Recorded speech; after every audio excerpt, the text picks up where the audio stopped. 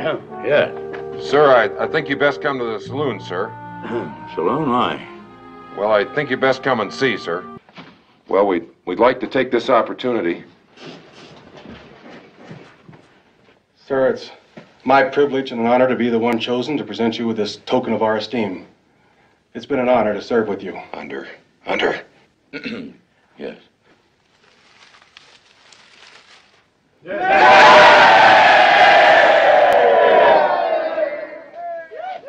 Sir, sir, you believe in fair play, don't you? And doing what's right? Well, it was me that was supposed to give you that Indian headdress and not Corporal James here, and Oh, I see. Well, certainly.